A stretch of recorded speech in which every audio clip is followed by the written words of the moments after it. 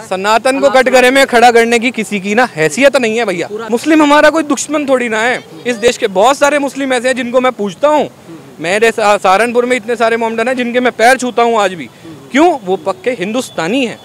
हिंदू कोई धर्म नहीं है भैया। मैं बार बार बोल रहा हूँ सनातन धर्म है हिंदू धर्म नहीं है। हिंदू हम सारे हैं। चाहे हिंदू मुस्लिम सिख ईसाई जो भारतीय है वो हिंदू है। लेकिन उस चीज़ का बेफजूल का इंडिया वाले जो ये विपक्ष वाले हैं जानबूझकर एक मुद्दा बनाकर आपस में लड़वा रहे हैं और कुछ नहीं है।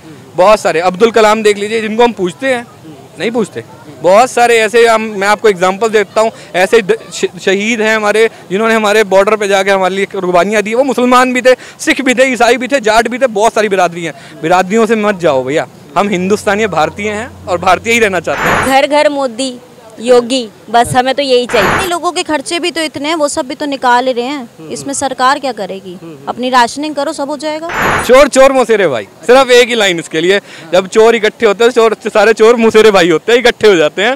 तो वो क्या कहते हैं ना जो आज तक एक दूसरे को गाली देते थे कटाक्ष करते थे पंचिंग करते थे आज भी अगर विधानसभा के इलेक्शन हो जाएँ किसी भी राज्य के अंदर तो आपस में ही लड़ेंगे वो अपने देश के लिए कुछ कर ही नहीं पाएँगे तो टिप्पणी करेंगे। कुछ मोदी जितना करके तो दिखाएँ उसके बाद लोगों के ओपिनियन मैटर करेंगे ना। वो कुछ करते तो है नहीं। साल तक राज किया कांग्रेस ने तब क्या किया? तब क्या किया उन्होंने? मतलब आप सिलेंडर लेना होता था तो एक आदमी को ठोडियों पे हाथ लगाते थे हम लोग "ए भाई एक सिलेंडर दे दे। आज हम एक कॉल करते हैं तो हमारे घर पे सिलेंडर आ रहा है। वक्त के हिसाब से हर चीज़ बढ़ती है। जब आपकी आमदन बढ़ती है तो खर्चा भी तो बढ़ता है। तो अगर खर्चा बढ़ रहा है तो रो क्यों रहे हो? जो आमदन भी तो बढ़ रही है उसे क्यों नहीं देखते हो? ये इंडिया का नाम के जो गठबंधन बना के बैठे हैं ये जानबूझकर सिर्फ़ और सिर्फ़ एक छलावा है लोगों के लिए। हमें तो यही नज़र आता है इसके अलावा कितनी पॉपुलेशन है कितने लोग मोदी के पीछे हैं हो जाएँ जितने मर्ज़ी एक साथ।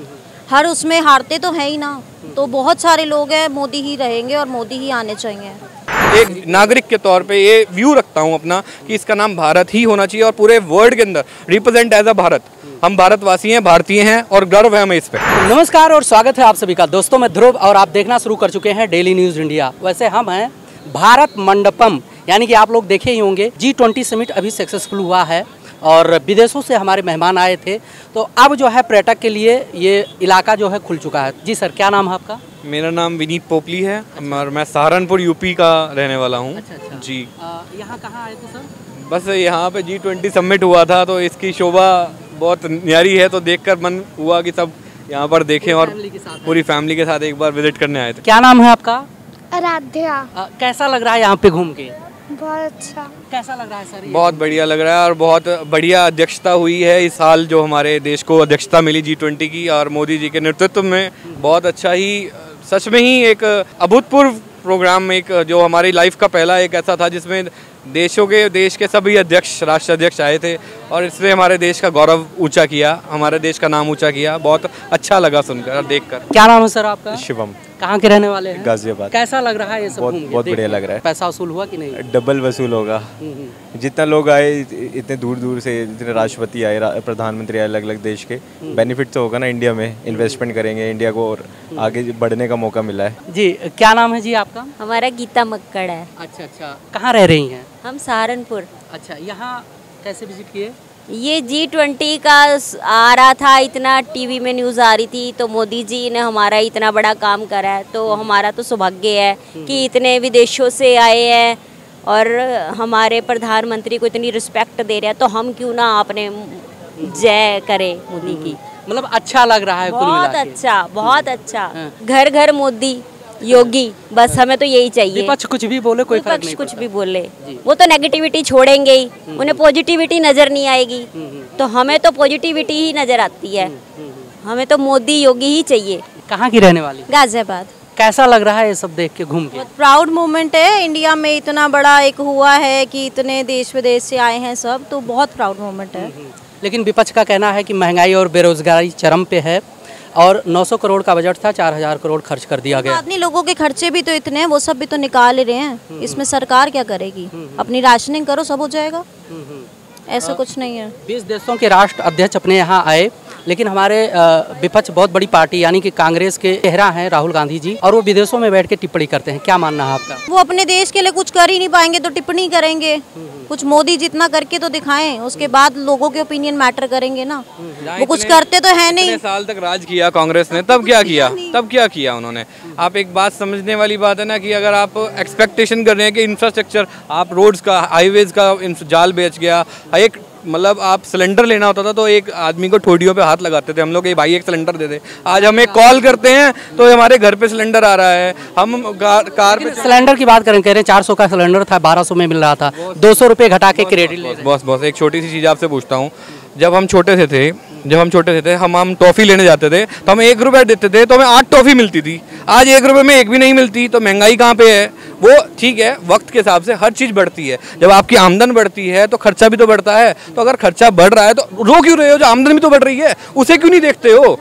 आज इनकम टैक्स पेयर्स कितने हो गए? जीएसटी के जब छापे पड़ते हैं तो करोड़ों रुपया निकल रहा है। वो कहाँ से आ रहा है? ब्लैक मनी क्यों हो रही है? वो कांग्रेस के टाइम पे ये जो नए गलत फॉर्मूले बने थे, उस वजह से है।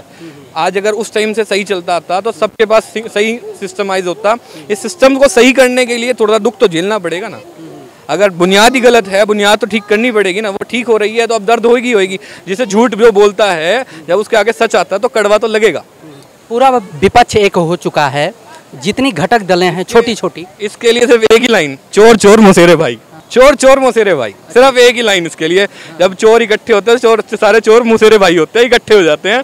तो वो क्या कहते हैं ना जो आज तक एक दूसरे को गाली देते थे कटाक्ष करते थे पंचिंग करते थे आज भी अगर विधानसभा के इलेक्शन हो जाएँ किसी भी राज्य के अंदर तो आपस में ही लड़ेंगे यही यही लड़ेंगे। लेकिन जब मोदी का नाम आएगा तो सारे इकट्ठे हो जाएँगे। क्यों? क्योंकि इन, इनके सामने कहीं भी ये टिकते ही नहीं है सब। ये इंडिया का नाम के जो गठबंधन बना के बैठे हैं, ये जानबूझकर सिर्फ़ और सिर्फ़ एक छलावा है लोगों के लिए। हम हमें तो यही नज़र आता है इसके अलावा कुछ हाँ, एक सबसे बड़ा मैटर है विपक्ष कहता है कि जहाँ पर इंडिया लिखा जाता था जी ट्वेंटी में मोदी जी ने इंडिया को हटा के भारत। भैया देखिए मैं एक सनातन धर्मी आदमी हूँ। देखिए मैं सनातन धर्म पे तो बहुत बड़ा उंगली उठाए विपक्ष एक, एक मिनट एक मिनट पूरी बात बोल दू अपनी? अगर आपने मेरे से क्वेश्चन पूछा तो आंसर भी मेरा पूरा ले लो फिर। देखिए, हिंदू धर्म नहीं है। हिंदू मेरे हिसाब से धर्म नहीं है, हिंदू हमारा हिंदुत्व है। धर्म हमारा सनातन है, जिसे हम पूजते हैं, ठीक है ना? सनातन धर्म के हिसाब से जो हमारा पुश्तैनी, इस हिंदुस्तान का जो नाम था, वो भारत था, जिसे इसके अंदर ये पाकिस्तान भी इंक्लूड था, बांग्लादेश भी इंक्लूड था। ठीक है, इसमें से डिवाइडेशन हुए, वो एक वक्त था, वो निकल गया, वो दौर चला गया। आज जो है, वो भारत है, और वो सच में ही भारत होना चाहिए, एक बच्चे के दो नाम असली नहीं होते। आधार कार्ड में एक ही नाम होता है भैया, जिसको हम सब मानते हैं, वो जो असली होता है। घर में तो चिंटू, पिंकू, जो मर्ज़ी बोलते रहो। लेकिन एग्जैक्टली इंडिया इंडिया नाम रख देने से इंडिया वो एग्जैक्टली वो पुश्तैनी नहीं था। हमारा जो पुश्तैनी नाम था वो भारत ही था और मेरे हिसाब से मैं as a person of India as a country nation की तरफ़ से मतलब अपने एक व्यू में एक नागरिक के तौर पे ये व्यू रखता हूँ अपना कि इसका नाम भारत ही होना चाहिए और पूरे वर्ल्ड के अंदर रिप्रेजेंट एज अ भारत। हम भारतवासी हैं भारतीय हैं और गर्व है हमें इस पे। सनातन को तो कटघरे में खड़ा कर दिया है। सनातन को कटघरे में खड़ा करने की किसी की ना हैसियत नहीं है भैया। पूरा विपक्ष एक साथ मैं क्या कह रहा हूँ उसकी हैसियत नहीं है किसी की। वो ठीक है वो बड़ बोले हैं वो बोलते हैं वर्ड्स सनातन के बारे में जब उन्हें पता लग जाएगा कि कितनी पुश्तैनी हमारी जड़ें हैं।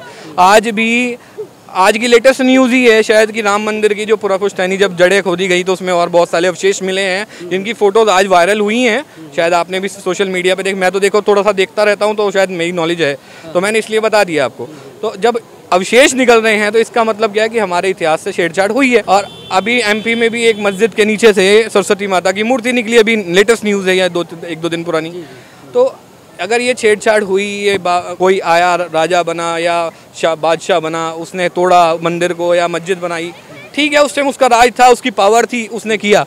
आज अगर पावर को सही इस्तेमाल में उसको सही रूप दिया जाए तो उसमें बुराई क्या है? उसमें बुराई क्या किसी को हम मार तो नहीं रहे, किसी को ये तो नहीं कह रहे कि तू अपना धर्म छोड़ दे। हम तो ये कहते हैं कि आप भी शांति से रहें, हमें भी शांति से रहने मुस्लिम हमारा कोई दुश्मन थोड़ी ना है। इस देश के बहुत सारे मुस्लिम ऐसे हैं जिनको मैं पूछता हूँ मेरे सहारनपुर में इतने सारे मोमडन हैं जिनके मैं पैर छूता हूँ आज भी। क्यों? वो पक्के हिंदुस्तानी हैं। हिंदू कोई धर्म नहीं है भैया। मैं बार बार बोल रहा हूँ, सनातन धर्म है, हिंदू धर्म नहीं है। हिंदू हम सारे हैं। चाहे हिंदू, मुस्लिम, सिख ईसाई जो भारतीय है, वो हिंदू है। मैं तो ये मानता हूँ। लेकिन उस चीज़ का बेफजूल का इंडिया वाले, जो ये विपक्ष वाले हैं, जानबूझकर एक मुद्दा बनाकर आपस में लड़वा रहे हैं और कुछ नहीं है। बहुत सारे। अब्दुल कलाम देख लीजिए, जिनको हम पूछते हैं नहीं पूछते। बहुत सारे ऐसे हम, मैं आपको एग्जांपल देता हूँ। ऐसे शहीद हैं हमारे, जिन्होंने हमारे बॉर्डर पे जाके हमारे लिए कुर्बानियाँ दी। वो मुसलमान भी थे, सिख भी थे, ईसाई भी थे, जाट भी थे, बहुत सारी बिरादरी हैं। बिरादरियों से मत जाओ भैया। हम हिंदुस्तानी भारतीय हैं और भारतीय ही रहना चाहते हैं। We are Indians and proud of and अब वो इंडिया को भारत कह के हम भारतीयता का बोलेंगे कि हम भारतीय हैं and we are proud of that that's it चलिए मैम, आपसे एक आखिरी क्वेश्चन रहेगा। 2024 पे सत्ता परिवर्तन होगा कि नहीं? नहीं। नहीं। है कि नहीं है? नहीं है कोई चांस नहीं है। मोदी को तो कोई नहीं हिला सकता है। चालीस प्रतिशत वोट शेयरिंग है विपक्ष के पास। और जितने घटक दल हैं सब इकट्ठा हो चुके हैं। कोई बात और राज्य सरकार भी कई राज्यों में उनके सरकार भी है। तो कोई बात नहीं इतनी पॉपुलेशन है कितने लोग मोदी के पीछे हैं हो जाए जितने मर्ज़ी एक साथ। हर उसमें हारते तो है ही ना। तो बहुत सारे लोग हैं मोदी ही रहेंगे और मोदी ही आने चाहिए। चलिए बहुत बहुत धन्यवाद आप लोगों का कीमती समय देने के लिए।